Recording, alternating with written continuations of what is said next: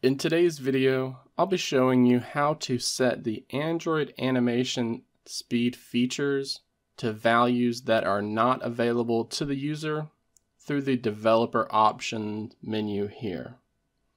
This process does require us to use ADB in order to set this up, but it allows us to set them to a more specific value that you are comfortable with. For those who are not familiar with these three options, you can find them by first enabling the developer mode feature on your Android smartphone or tablet. If you do not know how to do this, then be sure to check the video description below, as I'll include a link to a dedicated guide that I have done that shows you all of the steps involved. Once enabled, we can then go into the newly created developer options menu on our device. And then after scrolling down a bit, you're going to find three different options that pertain to the animation speed on Android. We have the window animation scale option, the transition animation scale option, and then the animator duration scale option. These three features control how fast or slow the animations are played out on our smartphone or tablet. And the default values for these are going to be set to 1x. But if we wanted them to be faster, then we could set these to 0.5x. Or if we wanted the animations to be slower, we could set them to 1.5 or 2x. And you'll notice that the animations are now slower. These are useful and can be a great way to customize your Android smartphone or tablet, but they don't give you granular controls of this setting. For example, what if we wanted the animations to be faster, but felt that the 0.5x option was too fast for our liking. Thankfully, with ADB, we can configure these three options to be whatever numerical value that we want.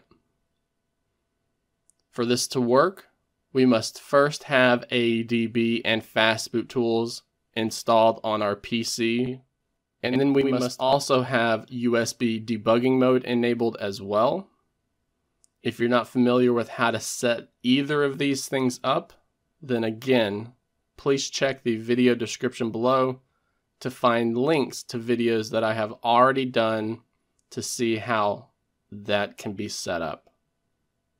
Once you are ready, let's go ahead and connect our device to the PC with a USB cable. Our next step is to make sure that ADB can connect to our Android device. So let's execute the command ADB space devices and press enter. If you see your serial number here, along with the word device, then that means you have set everything up properly and you are good to go. However, if you see that this is blank with no devices listed, then that means you either need to grant USB debugging mode access from your smartphone or tablet. It could also mean that you need to install the proper USB drivers from your device maker, or that you need to use a different USB port, or possibly a different USB cable entirely. But once you see your serial number here, then we can proceed with this tutorial. So the next thing that we need to do is drop into an ADB shell. And we can do that by typing out the words ADB space shell and pressing enter. This should drop you down into another prompt with a blinking cursor but it looks a little bit different. And instead, we're being shown the code name of the device we have actually connected to our PC with the USB cable. And then we can begin to configure the three Android animation settings directly from this command prompt. The first command that we'll be entering is settings space put space global space window underscore animation underscore scale. So now we're going to do a space after that. And this is going to be the numerical value that we set to this option. So we saw in the menu that we could set it to 1x, which would be a value of 1. And we could set it to 0.5x, which would be a value of 0.5. But if we wanted this to be even faster, we could set this to 0.25 and then press enter. And as long as you don't get an error here, as long as it goes back to that same prompt you saw before, then that means you entered everything correctly. So the second command that we'll be entering is settings space put space global space transition underscore animation underscore scale space and then the numerical value you want this set to. So again, if we're setting these animations to be faster than what we can set them to in the menu, again, we can go with the 0.25, press enter, and then test out that animation.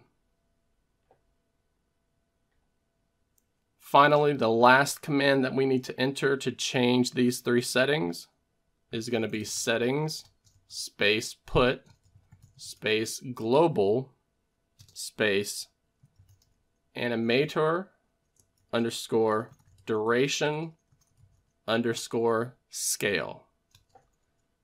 Again, we're going to do a space after that. And we can set this again to 0.25 to go with the theme of making these animations a lot faster than normal. Now, if we believe that the 1x animation is too slow and we want our animations to be faster, but we think the 0.5x setting in the developer options menu is too fast, then we could also set these to 0.75. Or if we wanted the animations to be slower, but think the 1.5x setting is too slow, then we could set these to 1.25 and press enter.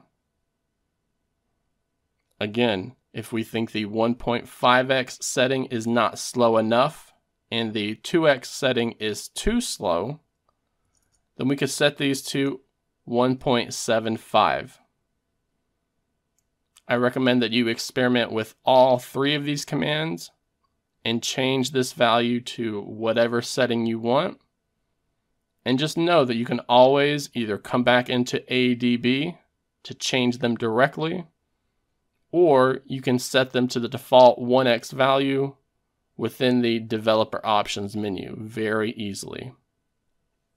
I also wanted to highlight three commands that we can use to check the value of these settings, just in case you forgot what they were set to when you changed them via ADB. And again, these need to be executed within an ADB shell. So we just need to type out settings space get space global space window underscore animation underscore scale and press enter. And just like you see here, we have now changed this to 0.25. So that is why this value is returned here. The other command is settings space get space global space transition underscore animation underscore scale and press enter. Again, we set that to 0.25 and that is why that value returns that. The last command to check these values is settings space get space global space animator underscore duration underscore scale. Those three commands can be very useful to check what the value of these options are set to if you have changed them to a custom value via ADB. Because as you just saw, these were set to 0.25, but the developer options is not able to display that value since the 0.5x is the lowest that it can go to. So just know that you can always go back into an ADB shell to relearn what these options have been set to via ADB.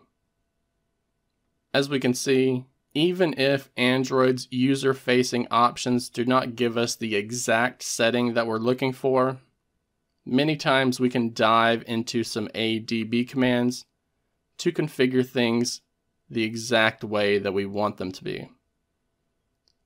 Personally, I like it when the animations are sped up a little bit, but 0.5x is usually too fast for my liking. So changing these three settings to 0.75 has been a great middle ground for me. It gives me the feeling of Android being more responsive without changing things to the point where the animations become janky.